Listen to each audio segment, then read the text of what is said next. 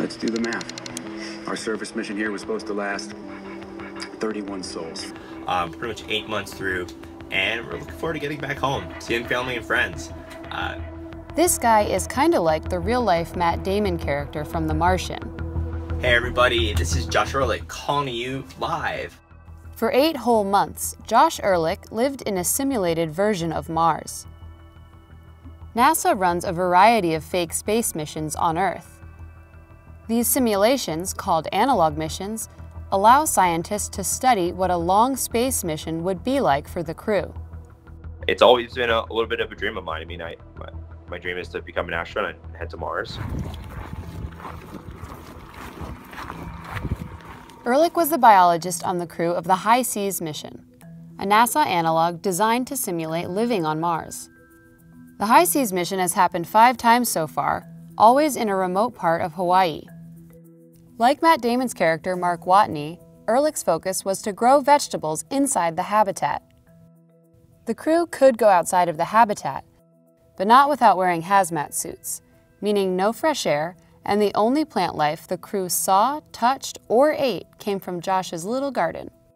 To see and just to watch the crew members eat a vegetable for the first time, like a real vegetable, not something that's dehydrated or freeze dried, it was a truly worthwhile experience as a crew member because you're providing to them. Not only is it logistically challenging to live inside a geodesic dome for eight months, even if you're on Earth, it can also do a number on your psychological state. One of the biggest concerns with a long space mission is the impact it has on the crew's mental and emotional well-being. It's one big psychological experiment. So, what's it actually like living in isolation with just five other people for eight months? It slowly adds up till you realize, man, I I miss feeling the wind. I miss getting a sunburn. I, I, miss jumping into um, you know, into the ocean. Josh's duty to his crew and to the mission kept him invested in the project. But dedication in itself can't be enough to keep everyone sane and on good terms with each other, right? Conflicts will come up. People will inevitably get on each other's nerves. Communication when you all are on the same page, man, you can do anything. If there's something bother you, just say it. Um, a few words can go miles to getting getting things done, to accomplishing. Three, two, one.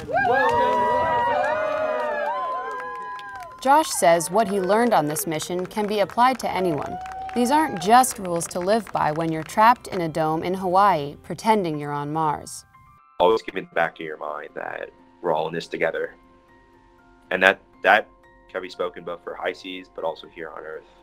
How we treat our planet, how we interact with each other, how we live with family members and friends. It's we're all in this together. So let's let's focus on on going forward, not backward.